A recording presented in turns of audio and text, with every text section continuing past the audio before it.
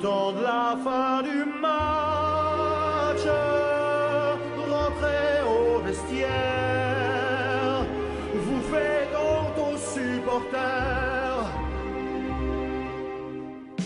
Brel, vous avez vraiment tous joué comme des.